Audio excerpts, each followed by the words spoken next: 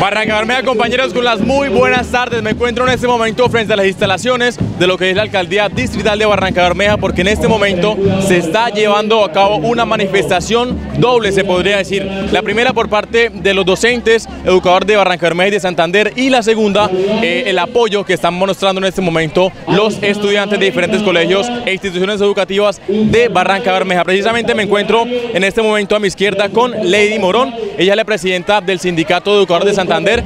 Presidenta, coméntenos el motivo de la protesta que ustedes están llevando a cabo en este momento frente a la alcaldía. Sí, el Magisterio de Barranca Bermeja salió hoy a paro de 24 horas a nivel departamental, haciéndole exigibilidad a la UTR Foscal CUP, que es la que nos presta el servicio de salud, le exigimos una buena prestación del servicio. ¿Cuáles son nuestras exigencias? Que nos entreguen los medicamentos de forma oportuna.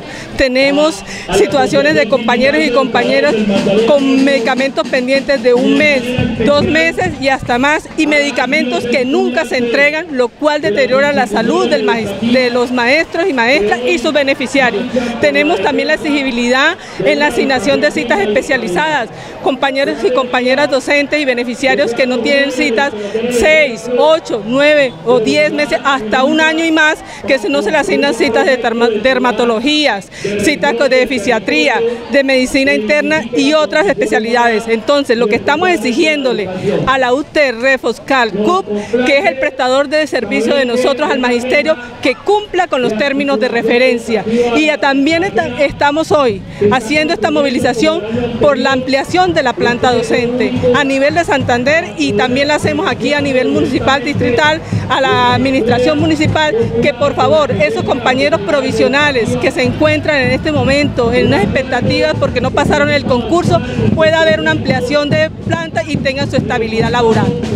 Perfecto, esta es la petición y el motivo de la protesta por parte de los docentes educadores de Santander. Ahora hablamos con Juan Sayas, él es el personero de la Escuela Normal Superior Cristo Rey, que nos va a contar, Juan, el resumen de lo que han vivido ustedes la última semana, los últimos 15 días con el tema del movimiento estudiantil. Eh, primero que todo, pues buenos días. Eh, nada, eh, en las instituciones se ha venido presentando varios inconvenientes, eh, como ya lo dijeron, un pliego de peticiones que se va a presentar aquí en la alcaldía en una mesa pública el próximo viernes, están invitadas todas las personas que quieran asistir. con respecto a las a problemáticas que se han venido presentando, no nos han querido dar solución. Solamente hemos tenido una reunión con el secretario del Interior y de Educación y fueron, pero no llegamos a ningún acuerdo. Nos prometieron que nos iban a hacer llegar unos papeles, no nos los hicieron llegar. Por esa medida tomamos la determinación de salir al cese de actividades y estar aquí luchando por los derechos. Y apoyamos el paro de profesores porque sabemos las necesidades que tienen ellos tanto como nosotros.